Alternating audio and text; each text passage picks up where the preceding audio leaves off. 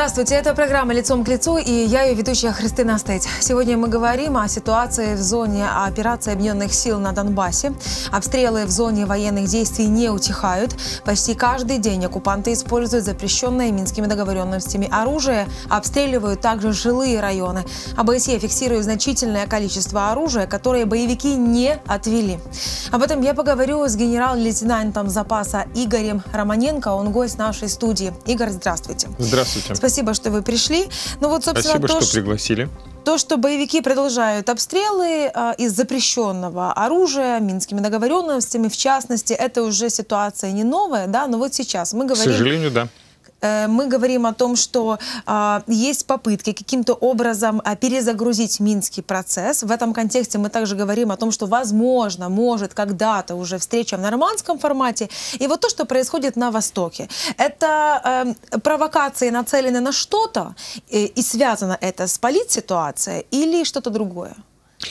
Надо иметь в виду, что э, в борьбе в этой войне гибридной с Россией Конечно, действия, тем более военные действия, в которые участвуют а, вооруженные силы России, их представители, руководство группировок двух корпусов на оккупированной части территории, это в основном офицеры вооруженных сил а, Российской Федерации, они выполняют соответствующие команды, реализуют планы Генштаба, а Генштаб подчинен своему верховному главнокомандующему Путину, президенту.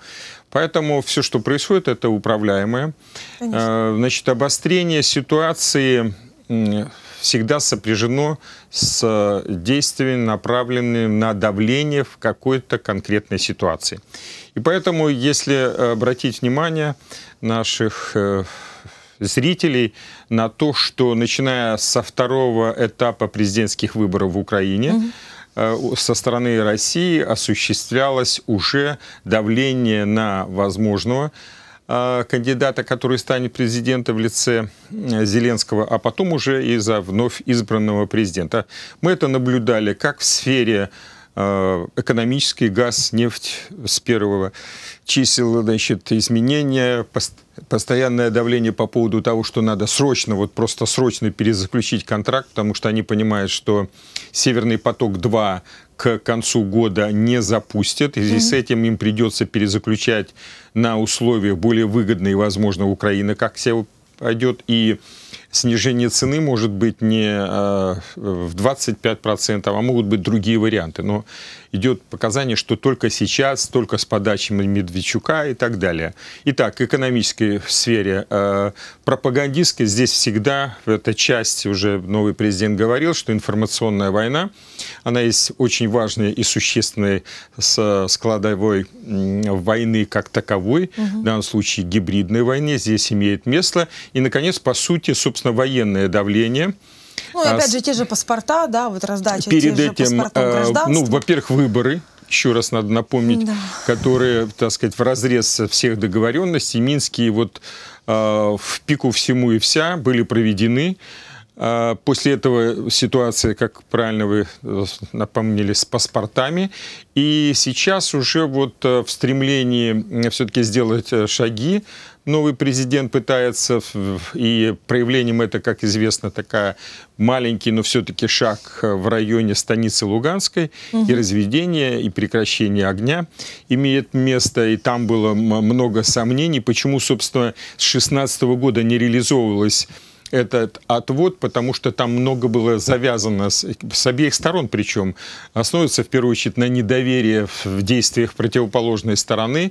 Вот. Сами жители просили не отходить, вооруженные силы Украины боялись последствий. Угу. Вот. Боевики, что у них позиции лучше, так сказать, на возвышенность тактической точки зрения и так далее.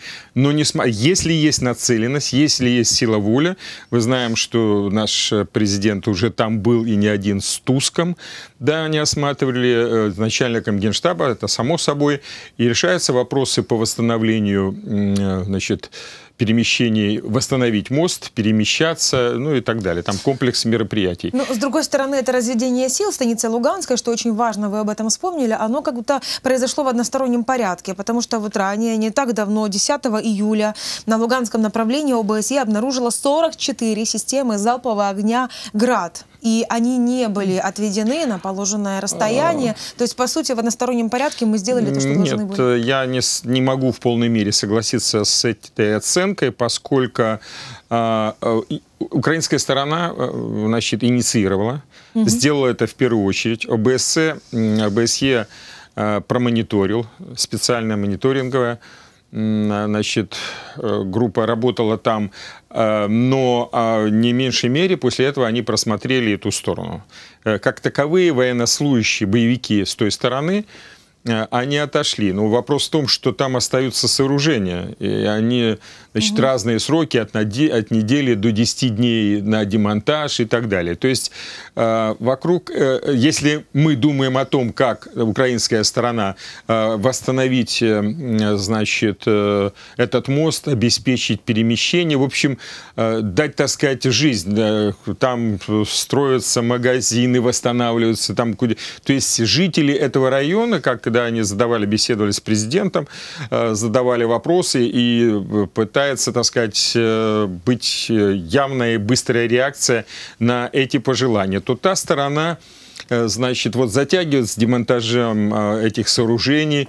Чуть дальше там известный такой памятник э, Игорю князю, значит, уже перемещены туда там блоки, которые здесь сняты, но туда, ну и так далее. Но вместе с тем, чтобы стараться быть объективным, надо сказать, что, собственно, боевики, мониторинг, э, м, значит, эта комиссия э, ОБСЕ, она проверила, они тоже отошли. То есть, несмотря на все сложности, при желании, в первую очередь, политическом желании, значит, э, это осуществилось.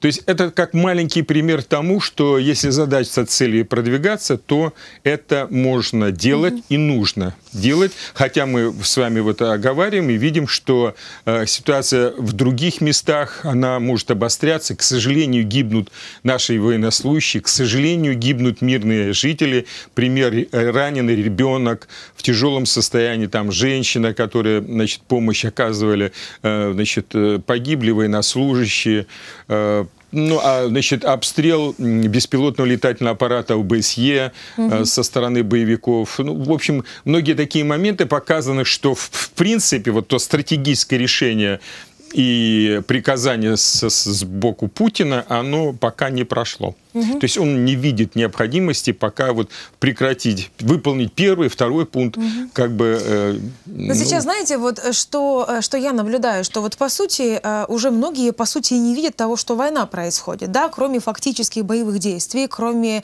а, человеческих жертв. Вот уже шестой год войны России против Украины, что мы сейчас слышим, да, это абсолютно такая информационная война, новый виток этой войны, войны, когда мы говорим о том, что кто-то говорит, да, про российские силы в Кремле, о том, что ну чего нам делить, чего нам ссориться, мы ж братские народы, мы ж соседи, нам надо поговорить, да. Этот зловещий мост, который должен был состояться между э, пропагандистским российским каналом и отчасти пропагандистским пророссийским украинским каналом, он не состоялся, но вот в информационное пространство уже очень активно вбрасывается вот это Конечно. надо говорить, надо мириться, надо вот это, чего нам делить. Ну, как-то это вообще, знаете, в голове не укладывается. Я здесь, вот как бы, э, если хотите, такой прием, я науковец, да, военный, и воспитываю сам себя и предлагаю таким образом поступить людям, которые в чем-то сомневаются. Ну, во-первых, если в чем-то сомневаются, э, надо поинтересоваться, ну, лучше всего самому побывать. Лучше один раз увидеть, чем много раз услышать. Раз. Можно поговорить с теми людьми, которым доверяешь, которые все-таки там были, чтобы разобраться, что же там происходит. А с точки зрения, так сказать, опять-таки, э, языком военных стратегически оценить, я хочу сказать, что э, надо представить, что там у нас уже погибло, ранено и так далее около 14 тысяч. И Ну, военных, и погибло граждан. более 13 тысяч украинцев. Ну, если с военными, так сказать, там надо посмотреть. А, Вот. э, Во, в- в войне Афганистана сколько, да? Э, б- Значит, там больше или около 10 ли- лет погибло около 15 тысяч. Так?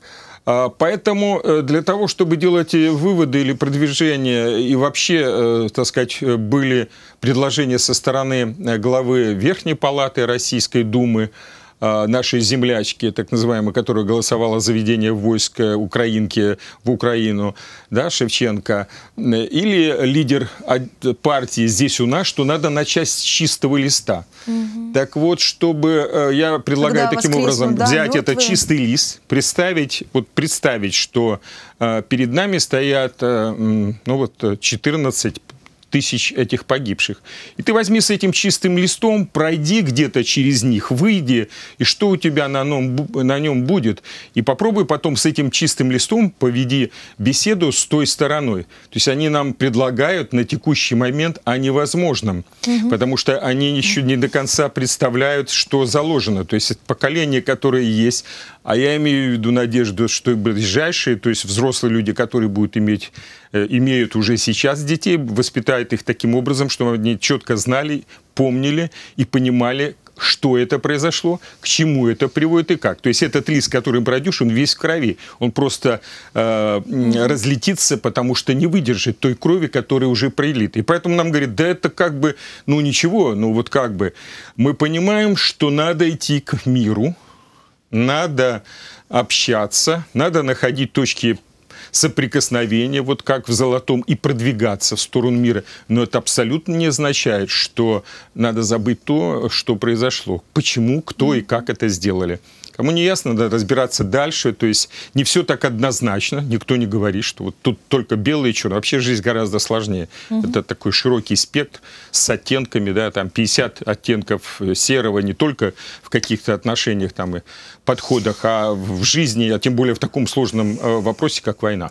Э, как вы считаете, насколько адекватно на эти вызовы дня сегодняшнего реагирует, э, ну, сейчас уже там офис президента, сам президент, Совет национальной безопасности, безопасности и обороны, да, и вот траектория, ту, которая, эм, которую ввел эм, главнокомандующий Порошенко, вот его команда сейчас, она каким-то образом меняется, она э, какая-то другая, или президент Зеленский, он придерживается, придерживается этой траектории. Вот как вы это в общем видите? Я бы сказал, стратегические вопросы, по крайней мере, пока из того, что мы видим, они не изменяются. Угу. То есть Крым – это Украина, Донбасс – это оккупация часть, и мы боремся за эти земли, восстановление суверенитета, восстановление границы, боремся за своих людей, украинцев, которые, к сожалению, шестой год находятся там. Это все подтверждено, причем на высоком международном уровне. Угу. Понимая приоритетность э, вопроса э, войны, а вернее перехода от войны к миру, вот не сдачи этой ситуации в российском варианте, а перехода к миру, который обеспечит паузу Украине, государству, для того, чтобы реально провести реформы, реально с большой буквы, э, вот, э, провести реформу во всех э, сферах, в том числе, может быть, в первую очередь и в вооруженных силах, поскольку э, сейчас уже все разобрались, что вот как мы там 25 лет понимали, такие пацифистские подходы, угу. значит, которые привели вот к соответствующему состоянию вооруженных сил и к тем последствиям, которые мы имеем по, потерю этих, по потере этих территорий. То есть э, президент Зеленский приоритеты понимает, поэтому его первые поездки, первая была, это, как известно, на линию соприкосновения ведения боевых действий с международным, с Туском мы уже обговаривали, угу. они там бывали. Значит, когда когда я работал за границей с лидерами э, государств, наших союзников и в нормандском формате поднимались всегда эти вопросы как приоритетные о том, каким образом поступать, о том, как э, вместе э, с помощью их, но все равно в первую очередь Украине, вот, угу. выстраивая взаимоотношения с Россией, продвигаться в сторону мира. Но если очень вот э, коротко уже о последнем, э, мне кажется, что сейчас, вот в последние месяцы, э, ну, как минимум, да, вот эти дни, когда президент Зеленский, вот новая команда и так далее, а, крайне редко или почти не звучит уже идея ведения миротворцев вот в районы оккупированные Донбасса. Если вот при президенте Порошенко это звучало всегда угу. вот топ-3, например. Э, на мой взгляд, э, таким образом, если э, двигаться, пока надо постараться исчерпать минские договоренности, если они пойдут, переходить к следующему. Идея с Будапештским меморандумом и участниками хороша, но угу. Uh, уже, так сказать, дипломатические круги США сказали, что они пока не поддерживают и не участвуют. Да? А, Тереза Мэй уходит, Борис Джонсон, а он а, отчасти, так сказать, сторонник э, укрепления взаимоотношений Британии с Россией. Вот, Меркель собирается уходить, поэтому особенно жесткую позицию она больше устремлена в, в, в Северный поток-2. Угу. Вообще там такая наследственность. Один канцлер ушел в «Газпром», вторая отставит поток. Я не говорю, что она там, но где-то так. Поэтому надеяться, что мы как-то решим быстро, э, продвинемся этот вопрос, не приходится. В первую очередь надо надеяться на себя. И надо, вот попытка первого разговора была, значит, надо э, продвигаться в этом направлении. И тогда появится, следует нам к чему-то возвращаться, что-то старое, в том числе э, идея сама по себе хороша, хороша, весь вопрос реализации. Ее долго обсуждали годами, но мы там, где мы есть сейчас. Надо ну... искать новые подходы, и главное, что надо действовать, что мы попытки этого видим, хотя нет определенного опыта, но можно э, иметь оптимистичный подход на этот счет. Ну да, надо, наверное, подождать какое-то время, чтобы вот эти кадровые изменения, о которых вы только Конечно, что сказали, надо чтобы они произошли, а выборы, а потом надо правительство увидим. и двигаться дальше. Вам спасибо за разъяснение, спасибо. за разговор. Я напомню, что гостем программы «Лицом к лицу» был генерал-лейтенант запаса Игорь Романенко. Я, Христина Стейт, с вами прощаюсь. Но вы оставайтесь в ETV, потому что именно здесь найдете информацию о самых важных и точно самых интересных событиях, происходящих в Украине. Украине.